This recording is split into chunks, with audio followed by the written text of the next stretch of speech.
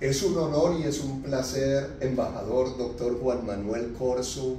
Siempre vivo, vivimos bendecidos los colombianos, que ustedes a puerta abierta, imagínense, yo no le pedí audiencia ni nada, llegué, muchísimas gracias por la atención y vengo a presentar el avance de nuestra Asociación de Colombianos Residentes en Paraguay, ASOCOL. Hemos llevado mucho tiempo, desde el 2016, pero con el apoyo del embajador, con el apoyo del cónsul, con el apoyo del gabinete de acá, acá hemos llegado y eso es lo que le quiero demostrar, embajador, que gracias a ustedes estamos ya por buen camino.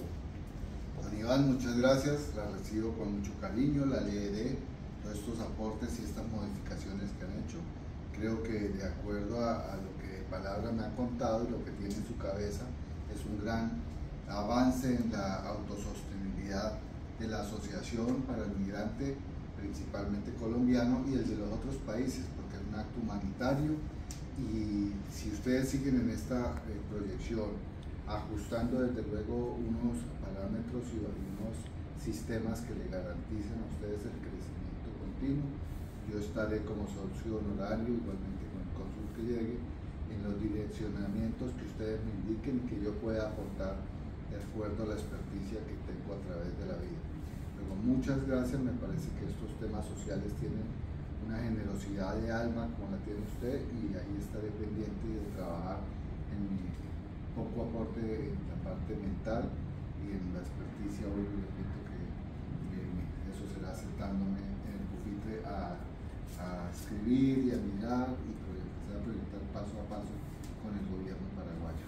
Muchísimas gracias, qué alegría pasar a comunicarle al comité que hoy hemos conseguido esto tan grande con el embajador y gracias a eso la asamblea que se llevó a cabo acá en la embajada justo se trató ese tema eh, en el estatuto y ese es el cambio sobre que el embajador y el cónsul fueran eh, socio honorario de nuestra asociación. Así es que le agradezco mucho, embajador, que Dios siempre lo bendiga y nos sentimos orgullosos de tener un embajador como usted que siempre vela por los más necesitados y está con el pueblo. Muchas gracias, amiga. Gracias, embajador. Muy amable. Gracias. Dios le pague. Muchísimas gracias, embajador. Muy amable.